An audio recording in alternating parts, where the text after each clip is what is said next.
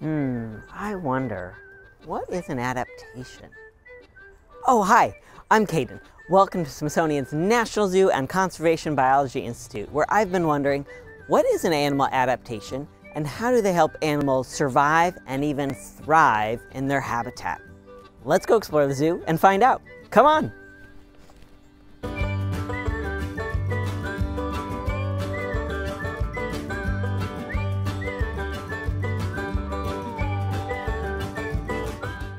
So what do you think?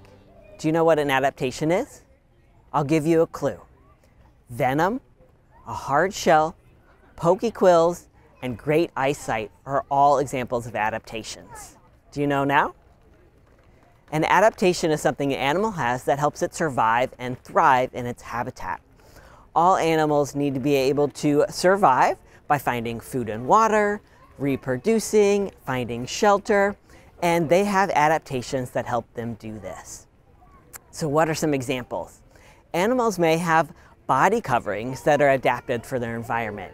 Maybe they have thick fur to keep them warm.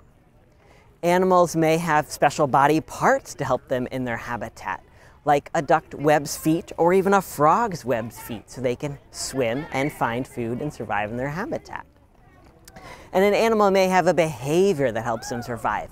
Maybe they hibernate or sleep, a rest when it gets cold, or they migrate and travel long distances to find food.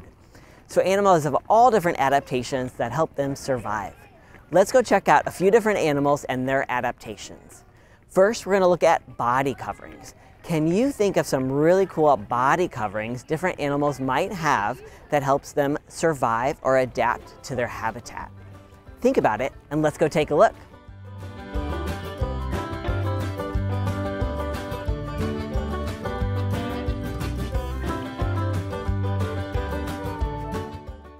A body covering adaptation is when the outside of the animal has adapted in some way to help it survive in its habitat. So what examples did you think of? Could have been striped or spotted fur, feathers, pokey quills. What about a hard shell? Here's a great example. This is an eastern box turtle. They have a wonderful hard shell on the outside to protect them. Why would they need this? Well, turtles aren't very fast. So because they're a little bit slow, they grew their bones on the outside, and that way if they ever get scared or threatened, they can pull their legs, their tail, and their head inside their shell. This one can even close the bottom part of the shell up to the top, close just like a box to help protect them. That's a pretty cool adaptation. All right, now let's think about special body parts. What kind of animals have special body parts that help them survive? What adaptations can you think of?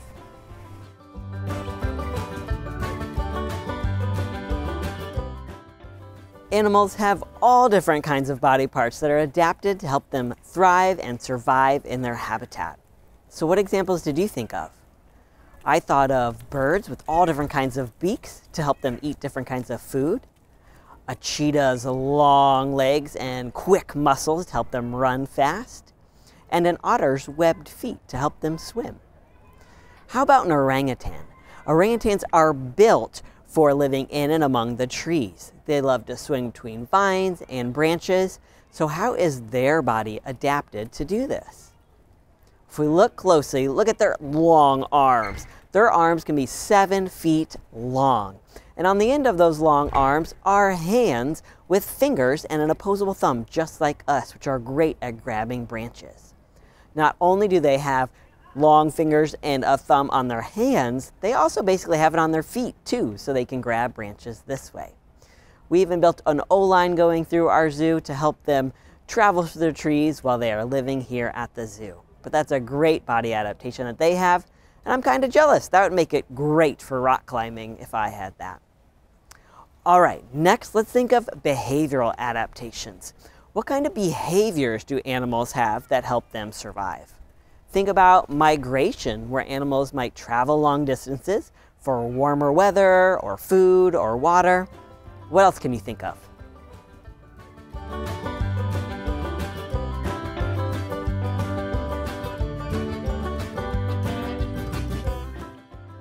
What behavioral adaptations did you think of? We talked about migration or traveling long distances. How about hibernation or resting for long periods of time? My favorite though is communication. I love the way animals communicate. Humans communicate through talking, through noises, body expression, facial expression. Animals communicate through many of the same ways and scent as well. Behind me are our Siamangs. Our Siamangs are very loud throughout the zoo when they communicate. They have a big throat sac they inflate with air, and their voice, their calls will carry for over two miles. This is great when someone in the rainforest needs to communicate from one Siamang to the other. They can definitely hear each other even if they're far away.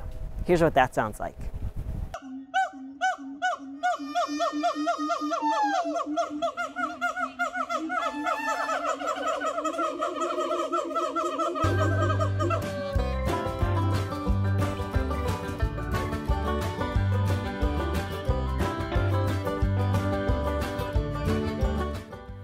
Wow, what a great question to explore and answer together. Thanks for coming along with me. Now we know a ton of animal adaptations. What's your favorite adaptation? Do you like camouflage, or being able to see well at nighttime, or being a great swimmer? There are so many to choose from. If I could have an adaptation, I would be able to climb well like a gecko. What about you? Now, adaptations take many years to build up and be able to help an animal survive in its habitat. Habitats are changing quickly. Climate change is one of the reasons, and adaptations can't keep up with that. So if you would like to help animals be able to survive in their habitats longer, help slow down climate change. You can do that by my favorite way, walking and biking, or taking public transportation instead of driving around in a car as much. I also try and save energy, unplug things, turn off lights, and I do everything I can. Well, that was a great question to explore. Thank you so much for coming along with me. I wonder all the time do you wonder? Do you have questions? Take your questions and go explore. Ask an adult if you need help. Thank you for coming along with me. Have fun and stay curious. I'll see you next time.